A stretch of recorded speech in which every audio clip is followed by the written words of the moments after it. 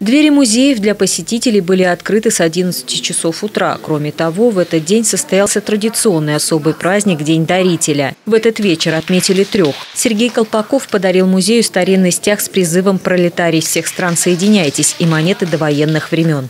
В музее уже у нас сложилась богатая нумизматическая коллекция. Надеюсь, что они найдут такое достойное место в нашей коллекции.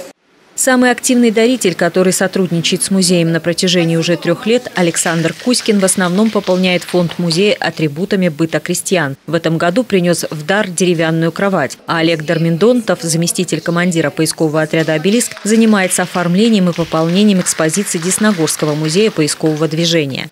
Хочу сказать э, слова благодарности музейным работникам, директору музея за нашу совместную работу – за совместные выставки в музее, за долголетний труд. Огромное им спасибо.